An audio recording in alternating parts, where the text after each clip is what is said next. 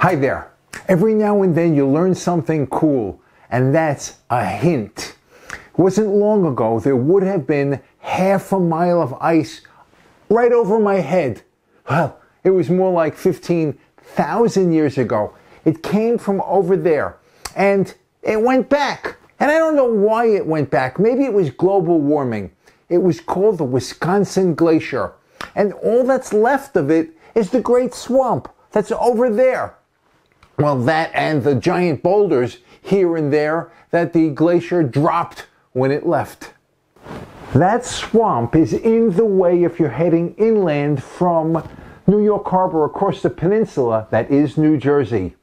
The Native Americans who commuted from the Delaware to the Hudson rivers because they could walked across the swamp on what we call the Lenape Trail.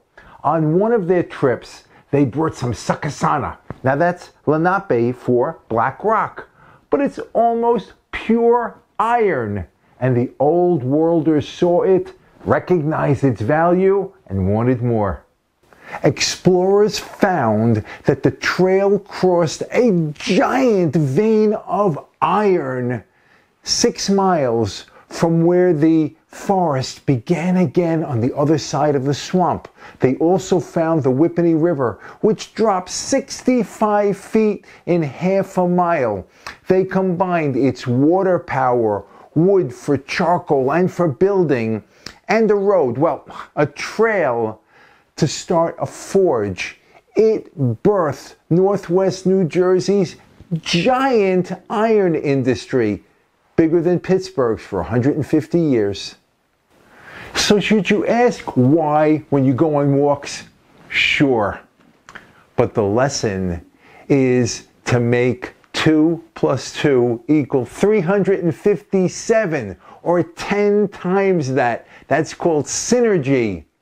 If you take your resources and your assets and combine them in the right way, you can build a skyscraper or even a city we started with wood, water, and black rocks. I'm Mike for the Be More Better team. Thank you for watching. We really appreciate it. Please comment, like, subscribe if you haven't, but always, always be more better. Body, mind, and spirit. And then be even more better when you share that the whole is greater than the sum of its parts. And by the way, Native Americans didn't have the technology to build an iron forge in 1715, but members of the Mohawk tribe of the Iroquois are legendary for building skyscrapers. And another, by the way, Parliament ordered all American iron be sent to England to be made into nails and hinges and whatevers. It was sold back at a huge profit to the Americans. You know, if you forbid someone from making stuff with their own materials, they get pissed off. The American Revolution was fueled in part by that sentiment. And now, a last, by the way, it's easier to bring the iron to the river than the river back to the iron. You know, the Whippany is still filled with tons of iron, of slag, and even glass made from molten sand.